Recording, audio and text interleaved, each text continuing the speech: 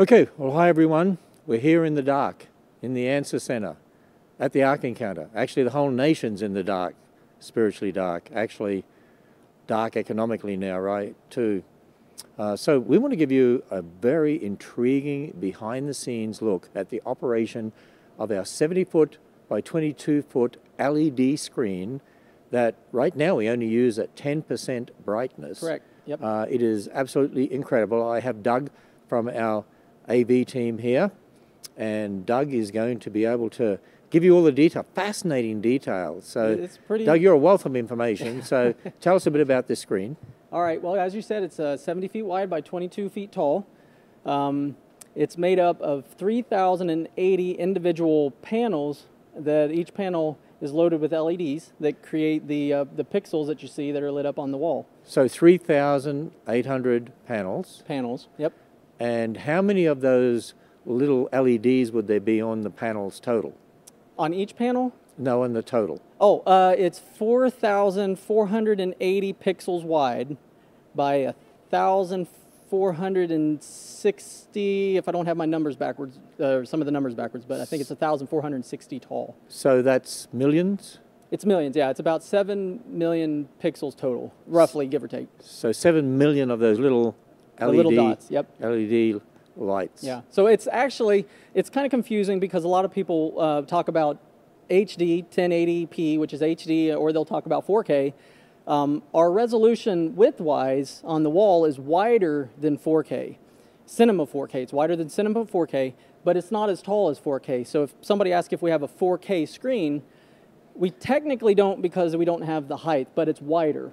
Um, So, the answer is yes and no. Yes and no. Yeah. Yeah, Yeah. yes we're, no. we're over width, under height, just because we have this custom screen. So we use this for all sorts of things, like our Christmas programs. Yep. We put up backdrops on here that look 3D. Mm -hmm. And right now, this is not using the full screen. No, it's not using the full screen. Um, this is actually playing one of our uh, videos that we, we show at the Ark, which was actually produced in house um, by the video department here. And um, it's showing it a 16 by 9 format, and our screen is wider than that because of the wide pixels. So we could show them how wide the screen really is here Yep. uh, in a moment. Uh, so we'll have our videographer come up on stage and uh, we'll show the full screen image. Oh, there you can see the full screen image from down there. And what I'll do as well is I'll get you to stand at one end, I'll stand at one end, and you're going to take one of those panels up and show them what they Yep, look like. I'll show everybody the panel. Okay. So- you sure you can get it back on again? I think we can get it back on. And it you- you can it might it- not be upside down. okay. So as we're coming up here to look at this, I will uh, stand at one end and Doug will stand at the other. Now, this is social distancing at its best. Yeah, 70 Right. foot minimum. You couldn't have better social distancing than this. So we are 70 feet apart. Is that right, Doug? 70 feet Yep, apart? 70 feet right here. And down where I am, there's a panel missing because Doug took it off the wall. He's going to show you that in a moment. And you can sort of see the wires coming out of there. Uh, so, but before we show you that panel and show you how that works, we're going to take you around behind the screen as well, because you would think there'd be millions and millions of wires behind the screen, but actually, Doug's going to race down there and give you a little So talk as to what's behind there. Yeah, what we did here, um, we wanted to have it off the wall so we'd actually have a crossover uh, spot for people to be able to go from one side of the backstage to the other. Um, and everybody thought, oh, you know, you're going to end up with a mess back here with this screen. But if you look, this is a, I mean, it's it's super clean. We don't have to worry about messing it up or anything.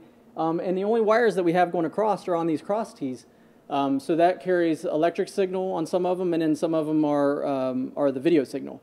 And um, this thing takes a lot of electric. There's 36 individual 200 and, uh, 210 volt or 208 volt uh, electric circuits powering this thing. Um, now they're not full power right now because everything's at 10%, but if it was full white um, and full brightness, this thing would really be creating some, some heat. So, Doug, this screen, I know when we built the stage, we had to build it to certain specifications because the screen's so heavy, correct? Right, correct. This screen weighs almost 11,000 pounds. 11,000 pounds. 11,000 pounds, you're talking like five ton. Oh, it's a lot. Yeah, it's it's a lot. Um, so we actually through the stage there's concrete um, there's there's beams that go under the stage and they're transferred all the way to the basement to the floor of the basement to support the weight of this. And this is a concrete stage. This has a four inch concrete uh, slab poured stage for. Uh, and then the floor. stage built on top of that. yep. And then the panel down here. Oh yeah. So let me grab that. We're going to show you one of these panels and how they work. So this is one of the panels here. And as you can see, there's not a lot to it. Um, but you can look at the pixels there. Individual dots are each individual pixel that will light up. And these give And there's you... seven million of those on this screen. Yeah, there's about 7 million. hmm Yeah, there's this panel here, there's 3,080 of these individual panels. And as you look at the back, there's no. Hey, I thought you said it. there wasn't a whole lot to it. That looks like a whole lot to it to me. yeah, there's not a whole lot that we can work on. If we have one of them that goes bad, we can actually send them out, and they'll replace some of the components on them. But um, generally, you just you snap it off of there. It's actually held on by magnets, so we have a special tool um, that actually screws into it, into the panel. It looks like a handle, and this will actually un kind of pop the the magnets loose. And um, it, they're Well, they're on there pretty. pretty How about you put that back on? Okay, And then we, mine. we will go. I'm going to set the, my microphone down. and you can pop that back on, and then we'll go down to where the screen is operated from and show you some of the phenomenal things they can do with it. So we'll take you back to the control board, and the brain of it is actually up on the mezzanine. So, oh look at that, it came on. You must have done that right, and then it just magnetic. Now this one's a little tricky. I should have did one in the, somewhere else because this trim that's on the bottom here kind of is hard to deal with. Because the lip here. Uh, there you go. And that's it. And then when you step away, nobody would actually know that those panels are there. And when the wall goes to black, and you're standing on the floor of the stage or the floor of the uh, auditorium, most people have no idea there's even an LED wall up here. Right, they don't realize that. Yeah. Can you go ahead and go to black real quick? So there we are. Yeah, if you come in and look at that, you just think it's a black wall. And now go to full white if you can. Let's see what uh, we'll do here. And we're going to take you back to the control panel. We'll see if we can get it full white. Full they have some graphics full Okay. white so they could see how bright it would be. Um, we have graphics kind of loaded in it, so um, white isn't one of the normal graphics we would show because it's bright and obnoxious. So we have an operator back there We do. So doing we'll- this for us. But while they're figuring that out, because it's pretty complex, uh, let's uh, walk on down there. oh, there we go. That's full white. So when Okay, well, she we'll walks come around around the corner she'll and be we'll able to see see the it. full. When you say full white, that's still 10% brightness? It's still yeah, it's still not full brightness. It's just the the brightest that it will be for us right now. Okay, so that's 10% brightness because we only use it at 10%. Yep. Now, someone might ask, okay, well, why did you get one that strong if you don't need the other 90%? Yeah, so actually, most of the LEDs are manufactured. They already are bright to begin with. Um, LEDs makes light so much brighter than an incandescent type of a fixture, um, and so And so we, we have that screen and then we have to adjust it for the fact we're inside. right, yeah, yeah, because they sell these screens for outdoor use. Um, this wouldn't be one; it would be considered a rental. This is an install, permanent install type of screen. Rental screens are generally made with the cheaper LEDs um, because LEDs are pretty much all manufactured in China. And then, uh, depending on the specs of the corporation that is building a wall, um, they'll ask for a grade like A, grade one type LEDs or grade three, and those are um, grade one are going to be more c- color consistent and even brightness. Um, where you get the cheaper LEDs, they start getting color shifting a lot more. Okay. Um, So, and this screen itself actually is produced in the United States, right? it is, yes. This is actually uh, it's made by Nanolumens, which is out of Atlanta, Georgia. Okay, so it's an American made product, Yep, it is. which is good. So we'll come around the back here and, and you can tell us, um, our AV person, what they're uh, All right, to do so we here, got- what you want. We got Rick at the at the console right now, and we can just kind of walk through a little bit of what the Green Hippo video processor can do. Um, and uh, You know, as I've said before, we've got a few different computers that are running graphics. We've got ProPresenter. We get um, we can do PowerPoint. We can do you know another computer if it's got Keynote. We can do that as well. Um, but our in-house setup is pretty much Green Hippo and ProPresenter. Um, and so with Green Hippo, I think you've got yeah you got Green Hippo going, and then we've got a Barco video processor, video wall processor that will do the the video switching and and kind of um, picture in picture views that we we do. So if you want to talk about some of that and Oh, do some- I, I didn't know you were going to put me on the spot. Sure. Well, right here, we are obviously uh, demoing Green Hippo, as Doug had mentioned. This is actually the Hippotizer, is what we call this. This is where we have the control surface. We can basically bring up multiple layers. We can even layer things, obviously, on top of one another. So let's just say that we wanted to, uh, you know, put like a graphic, let's say, oh, I don't know. Let's say we want to pull up Southern Salvation and one of their, you know, Steve Hess and whatnot up on screen. We can go ahead and put them on top of or even blend it through other graphics that we have going on. We can also pull in live feeds. If we had a camera that is on, um, you know, say the piano player, we could go ahead and put him up there and do effects like uh, in live time. If you guys have heard of green screening before, we can go ahead and have Hippo automatically erase that background and replace it with something else and then blend it into something else on the screen. If that's not enough, if we don't like, say, the colors of something that's on the screen, let's say what I'm playing right now, um, you know, the graphics are just not matching, you know, the color that we're hoping to uh, achieve, for instance. Um, let's say that red, I don't like it because it's just a little bit too, you know, stark of a contrast.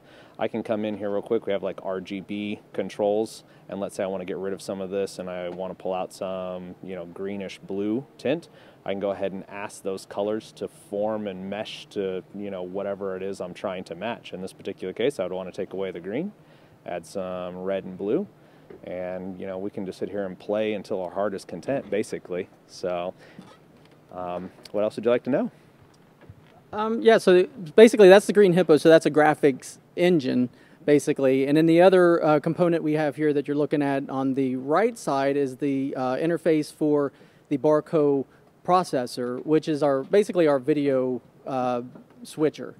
And if you look here, you can you can take basically any input that we can throw at it, um, whether it's our ProPresenter computers, uh, video camera feed from our live uh, video guys setup. Um, Can we show the Christmas one that we used at Christmas? Oh, there it is. Hey, you, great minds think alike. there we are. yeah. So on top of that, we can also overlay other things. Um, we can stretch that that image. We can do you know uh, many many things. We've got kind of our generic list of stuff that we do on a day-to-day basis already stored in. in How about the one with the Ark door? uh, ArcDoor? Yeah. Let's uh, find that one and bring it up. And you know, when you're sitting here out in the audience, they look three dimensional. That looks three dimensional. It Looks like you're actually in the Ark, and it's, it's going to be hard to tell as they're watching it on the video here, but it looks three dimensional. And then we've got our screens uh, on each side.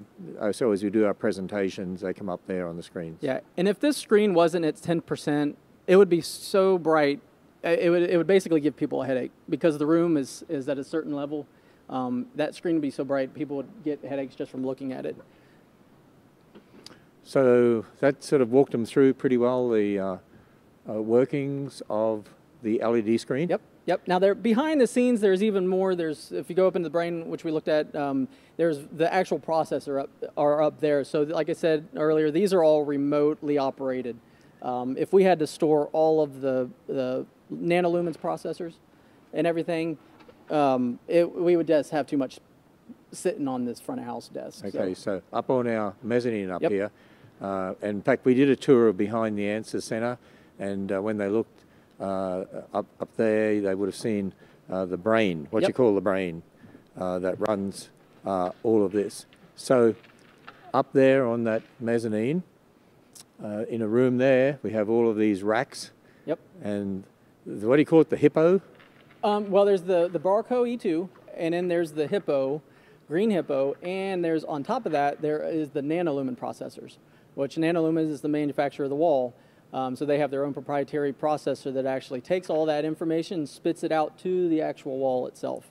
So people just people just walk in here, sit down, see the screen. Oh, that's nice. Isn't that pretty? Yeah. And watch us use it. They have no idea what goes on behind the scenes No, and it's- what really makes all this work. There's there's a lot, and there's a lot to take it. A lot of people it takes to keep it running. Yeah. Um, you know, and it, it's it's a talent that people have. Uh, you have to have a mindset for that kind of interest. A lot of people, they're not interested in, in pushing those kind of buttons and, Right. and seeing that. But um, for the people who are into it, like Rick and Caitlin, um, they do a wonderful job at what they do down here and keeping it going. And It's amazing the talent the Lord has brought to this ministry. oh, it is, yeah. I mean, I'm, I continue just to be amazed and thank the Lord.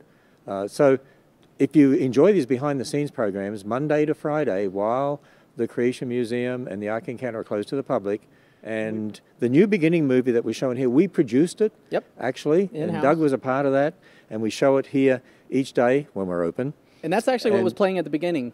It's uh, absolutely spectacular the way it's done. Tell people if you want to see this incredible screen, I mean, there wouldn't be that many auditoriums that have a screen this quality, would they? Oh no, no, no! This is uh, this is hard to come by. It's uh, it's made some raves across the AV world, and we we actually have some uh, publications going to do a report on it. So So it's sort of unique. it is, yeah.